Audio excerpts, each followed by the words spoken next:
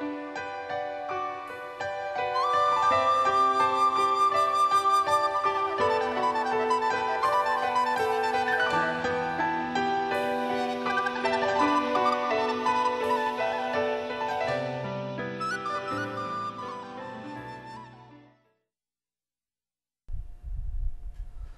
I'm Dr. Miguel Gonzalez, and this is Truth to Live By, the radio and television broadcast ministry of Reasons for Faith International Ministries. I want to welcome you back to another uh, session as we continue our study in Bible prophecy. The name of the series is The Bible and Tomorrow's Headlines. Let's open in a word of prayer. Father, we thank you for this time. We pray that you would speak to us loudly and clearly. We pray that you would use this lesson to help us become more and more conformed to the image of Christ. May our lives be lives that bring you honor and glory in all that we do, for it is in His name we pray. Amen.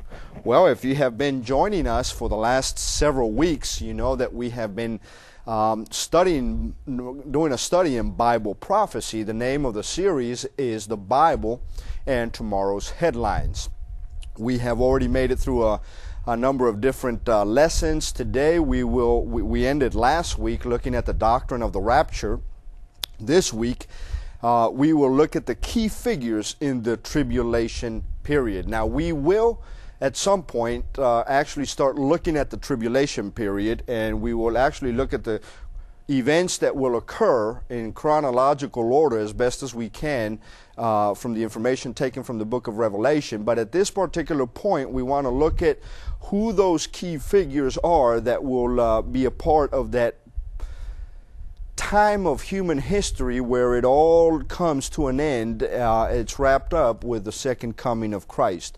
Obviously, uh, many of you have heard the term used. In fact, uh, it's only used once in, in the New Testament. Um, the Antichrist in John in First John chapter 1 or in 1 John chapter 2, let me go to that passage. 1 John chapter 2 and verse 18, uh, this is what uh, John said Dear children, this is the last hour, and as you have heard that the Antichrist is coming, even now many Antichrists have come.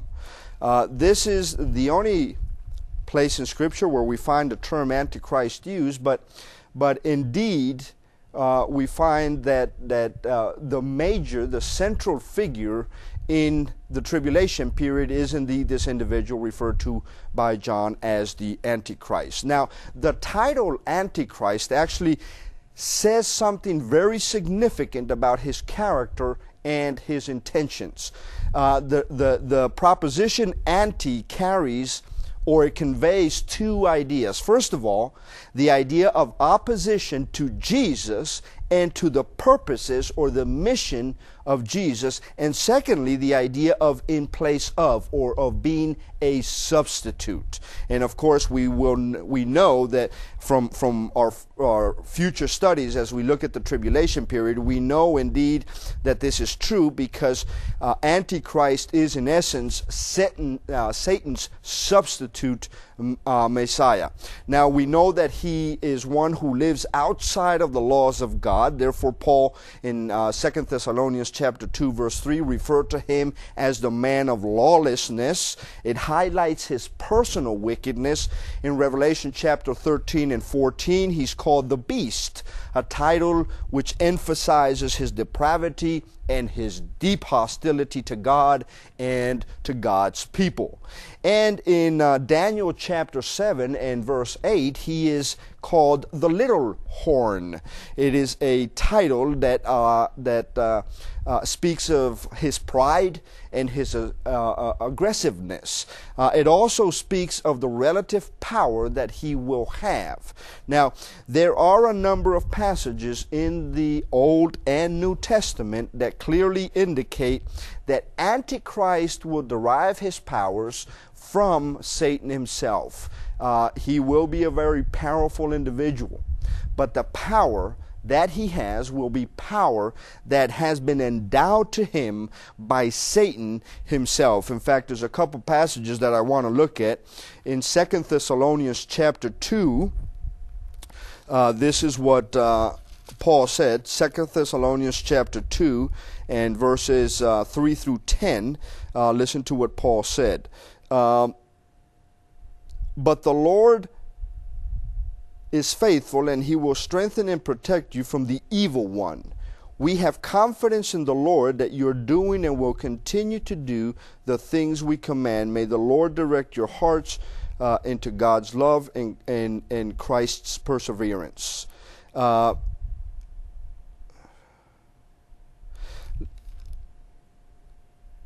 verse 6 In the name of the Lord Jesus Christ, we command you, brothers, to keep away from every brother who's idle and does not live according to the teaching you received from us. For you yourselves know how you ought to follow our example. We were not idle when, when we were worth, were you, nor did we eat anyone's food without paying for it.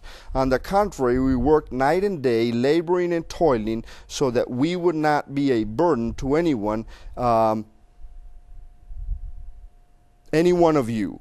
We did this not because we do not have the right uh, for such help, but in order that we uh, in order to make ourselves a model for you to follow. And then uh, later on, in in or or in the in, in his pre- previous epistle, uh, he said the following. In uh, 1 Thessalonians chapter 3, or let me look at this passage first. In, in Revelation uh, chapter 13, in verses 1 through 9. And again, we're highlighting uh, the character or the person of, of, of, Antichrist. In Revelation chapter 13, he says this, starting, verses, uh, starting in verse 1. I saw a beast coming out of the sea. He had ten horns and seven heads, with ten crowns on his horns, and on each head a blasphemous name. The beast I saw resembled a leopard. Uh, but had feet like those of a bear and a mouth like that of a lion the dragon, listen, the dragon gave the beast his power and his throne and great authority. One of the heads of the beast seemed to have had a fatal wound, but the fatal wound had been healed. The whole world was astonished and followed the beast. Men worshiped the dragon because he had given authority to the beast, and they also worshiped the beast and asked, Who is like the beast? Who will make war against him. Verse 5 The beast was given a mouth to utter proud words and blasphemies and to exercise his authority for 42 months. He opened his mouth to blaspheme God and to slander his name and his dwelling place and those who live in heaven. He was given power to make. Uh, notice that uh, he's always making John is always making reference to the fact that he's been given power, given authority. In this case, he says he has been given power to make war against the saints and to conquer them, and he was given authority over every tribe, people, language, and nation all the inhabitants, and so on. The point being here that John is clearly demonstrating that the Antichrist, who will be the most prominent figure in the tribulation period, will be a very powerful individual, but that his power is endowed to him by Satan himself. Now, how uh, now, this is a very charismatic individual, and we certainly live in a time in history where we can recognize that the world is becoming ready for just such an individual. Listen, this individual is going to be a charismatic person. This is a person we're talking about. This is not some angelic being. This is not a mystical individual. This is a, a flesh and bone human being who will be living on planet Earth and will assume a posi- position of leadership and will in time rule. But the Bible suggests that this will be a charismatic individual that at some point will actually convince the inhabitants of the earth to follow him. Now, how is he going to accomplish this? Well, the Bible seems to indicate that, uh, that he will be a great leader, someone who will have uh, the ability to solve complex issues. The Bible also says that he will be very smart, perhaps a very highly educated individual with a keen grasp of uh, uh, economic and political uh, issues. The Bible also seems to indicate uh, that in you know, and certainly in, think of the time that he's going to be ruling over the world. This is the, we're talking about the tribulation period. He will be an individual who will obviously be brilliant uh, and a very uh, smart military strategist because remember, this is an individual who is reigning during the tribulation period, a time of complete chaos and warfare. And he seems to always emerge uh, uh, from all these from all these activities that are occurring during the tribulation period. Obviously, he's going to be a brilliant and powerful uh, military individual. And fourthly, the Bible seems to indicate that he will be a man of great craftiness and oratorical abilities. He will be able to speak in a way in which he will draw the masses to himself. As a matter of fact, uh, uh, there are many passages in Scripture that seem to indicate that because of things that he says and things that he does, uh, people will seem to uh, just naturally follow this man. This is going to be an individual who will be thought of by the world as the only person who will be able to actually bring peace and stability to the world. Now, think about that. Because if you consider the world we currently live in, uh, certainly the world is hoping for at some point to somebody.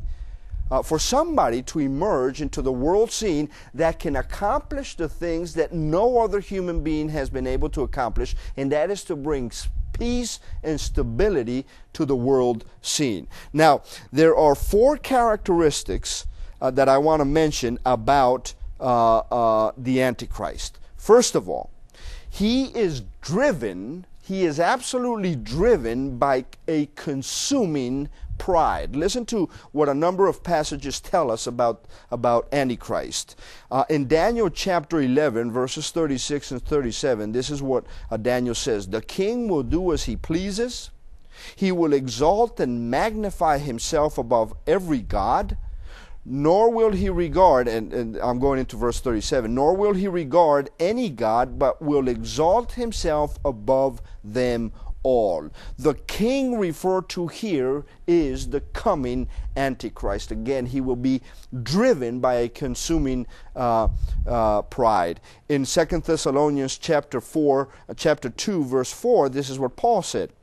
He will oppose and exalt himself over everything that is called God or is worshiped, so that he sets himself up in God's temple, proclaiming himself to be God. So we know one thing about the Antichrist that he will be driven. The motivation behind everything that he seeks to do is to exalt himself. He's driven by a consuming pride. The second characteristic about him that I want to mention is that he is an arrogant blasphemer. He will be an arrogant blasphemer. In Revelation chapter 13, verses 5 through 6, the Bible says this And he was given a mouth. Uh, he was given a mouth speaking great things and blasphemies. And he was given authority to continue for 42 months. Then he opened his mouth in blasphemy against God, to blaspheme his name, his tabernacle, and those who dwell in heaven. So we know he will be driven by a consuming pride. We know he will be an arrogant blasphemer. Thirdly, he will have great power. And we've already seen some of these verses, but I want to highlight a couple more points. In Daniel chapter 11, verses 41 through 44, this is what uh, we are told in the Word of God. He will also invade the beautiful land. Many countries will fall, but Edom, Moab, and the leaders of Ammon will be delivered from his hand. He will extend his power over many countries. Egypt will not escape. He will gain control of the treasures of gold and silver and all the riches of Egypt with, uh, with the Libyans and Nubians in submission. But reports from the east and the north will, will alarm him, and he will set out in a great rage to destroy and annihilate, annihilate many. Daniel clearly indicates that he will be an individual of great power. And this is also corroborated by John in Revelation chapter 13, verses 5 and 7. He says, The beast was given a mouth to utter proud words and blasphemies, and to exercise his authority for 42 months, meaning three and a half years. uh, and he was given power to make war against the saints and to conquer them. He was given authority over every tribe, people, language, and nation. He will be driven by a, a, a consuming pride. He will be an arrogant blasphemer and he will have great power. A fourth characteristic that I want to highlight about him is that he will oppose Christ. Listen, uh, and I want to, I want to, and we're probably going to end right here because I, I, I want to spend a, a few minutes right here. In Luke and this is something that we need to remember, not as not simply as we study prophecy, but all the time. Listen to what Jesus said in Luke 19, verse 10.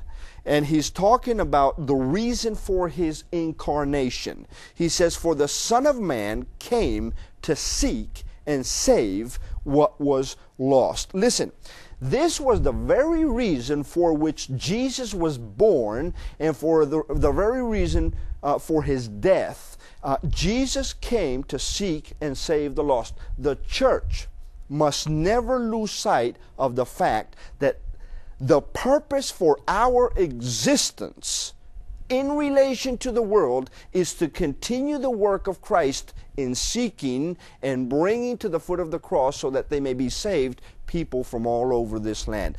But one of the one of the characteristics of this antichrist is that he will oppose Christ and will oppose Christ's mission and purpose. And in fact, Satan has always been opposed to Christ and to his mission. Let me tell you something.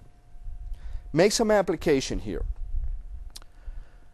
There are, there are many individuals in the world who have rejected Jesus Christ precisely because I believe, I believe, that Satan has been quite successful in thwarting the mission of Christ uh, uh, uh, uh in the lives of. let me put it this way.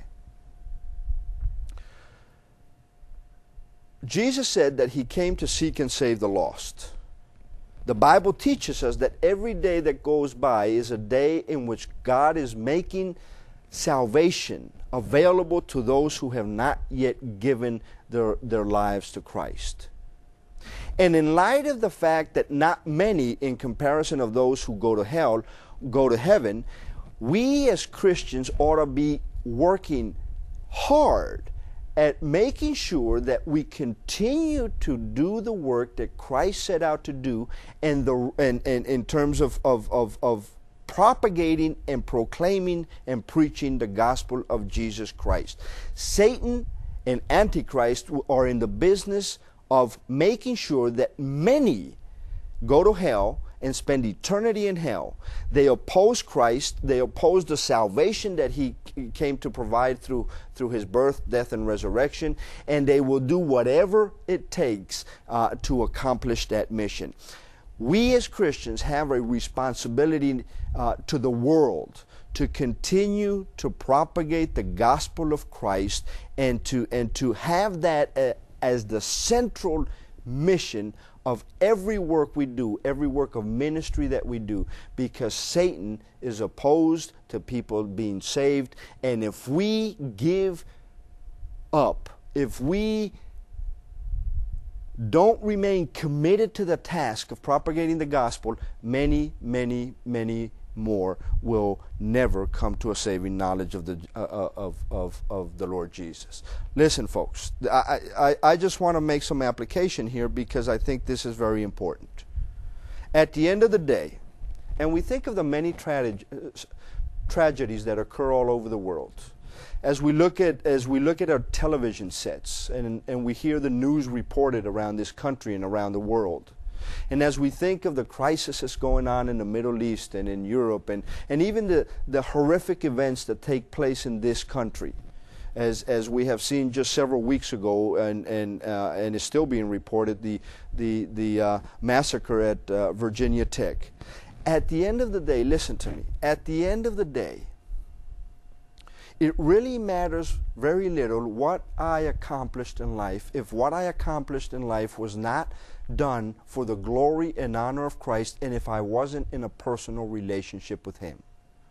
At the end of the day, it doesn't matter how long I lived, it doesn't matter what I accomplished, what I had, uh, uh, what titles I had received, what positions I held in, in, in corporations. At the end of the day, when I leave this earth, all that matters is where I stand in relation to this Jesus who himself said that he came to seek and save the lost. The mission of the church is to continue to faithfully stand for the truth and propagate the unadulterated gospel of Jesus Christ, as uncomfortable and as politically incorrect as that may be, to continue to propagate the gospel of Jesus Christ so that those who hear it may give their lives to the Lord Jesus. Listen, there is a spiritual warfare going on out there. And let me tell you something just like it's going to be the business of the Antichrist during the time of the tribulation, it is the business of Satan today to do everything within his power to make sure that fewer and fewer hear the gospel and are given the opportunity to give their hearts and lives to the Lord Jesus. It is incumbent on us as Christians, and it doesn't matter if you've gone to seminary, it doesn't matter if you're a pastor or you're not, it doesn't matter what you do in life. It is incumbent on every single Christian to faithfully stand for the truth, equip himself with the Word of God, and go out there and share with others the reason for the hope that they have within him. Listen, as we consider the world today, certainly we are seeing how it is that the road is being paved for this Antichrist to emerge into the world scene, whom the world will believe will have the capacity to bring stability and peace. Who will argue against the fact that we live in a day and age where it certainly feels like the world is nothing more than a time bomb waiting to explode? Listen, there are too many issues going on around, around the world to which there is no turning back. And we would be fooling ourselves if we didn't think that the course of human history is leading us down the path that would literally pave the way for this Antichrist, this great, charismatic, highly educated, good looking individual. Uh, paving the way for this individual to come into the world scene and make all the promises that the world has been waiting to hear forever and ever and yet not deliver. The truth of the matter is that once he gains power and once he becomes the ruler of the world, there will be no other dictator in world history that will ever be able to be compared to Antichrist.